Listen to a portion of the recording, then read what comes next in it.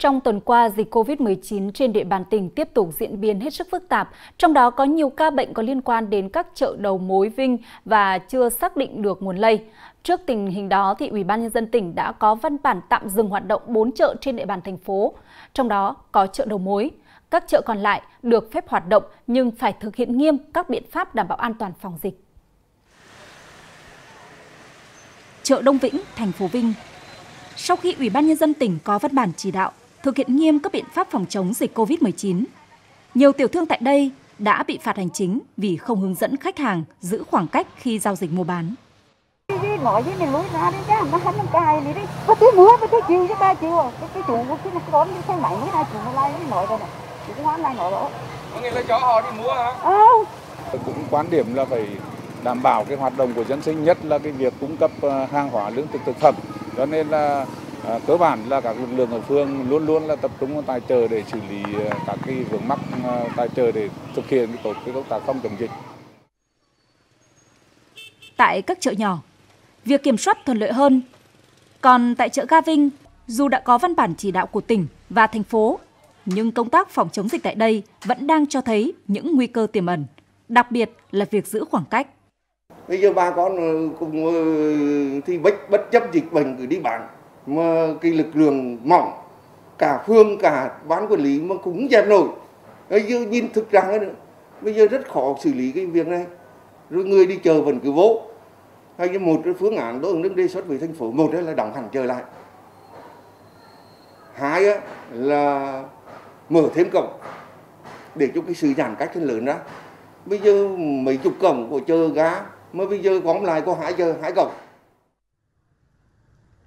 sau khi xuất hiện ca bệnh COVID-19 tại chợ đầu mối và trở thành chuỗi lây nhiễm cho tiểu thương tại địa bàn một số huyện, thị trong tỉnh. Chợ đầu mối gắn với đỉnh Tây chợ Vinh, chợ trụ xã Hưng Hòa, chợ Quang Trung, chợ Cửa Bắc tại thành phố Vinh đang tạm thời phong tỏa để thực hiện công tác phòng chống dịch.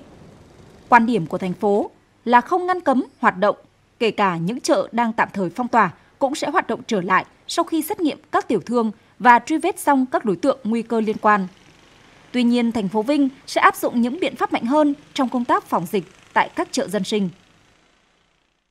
À, về cái biện pháp ờ, cấp cái phiếu để cho dân tham gia đi chợ là ngày chẳng ngày lẻ thì chúng tôi ờ, thành phố đã tính đến cái bài này và đã xây dựng kịch bản rồi phương án rồi các cái mẫu biểu là hiện nay đang nếu mà tình hình là là có cái diễn biến phức tạp cao hơn thì chúng tôi sẵn sàng là à, ban chỉ đạo thành phố sẽ sẵn sàng quyết định là thực hiện cái biện pháp mạnh này đối với à, các chợ và các à, hội dân bà con nhân dân trên địa bàn là tham gia đi mua sắm.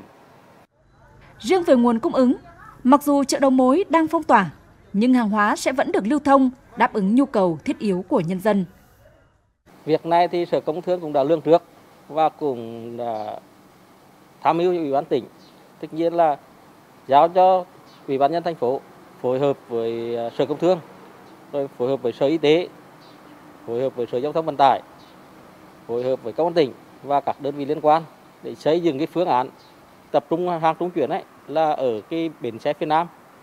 Ờ, ở đó thì có đủ điều kiện về không gian, rồi là cái lực lượng chức năng kiểm tra, kiểm soát đường hàng ra vào để đưa vào thành phố. Hiện tại chuỗi lây nhiễm qua chợ đầu mối thành phố Vinh đang rất phức tạp. Chính quyền các cấp cũng như các cơ quan chức năng đang nỗ lực truy vết để đảm bảo an toàn và cùng chung tay phòng chống dịch. Các tiểu thương cũng như người dân khi tham gia hoạt động mua bán cần nâng cao ý thức, tuân thủ các chỉ đạo, hướng dẫn bởi nguy cơ lây nhiễm từ các khu vực chợ là rất cao.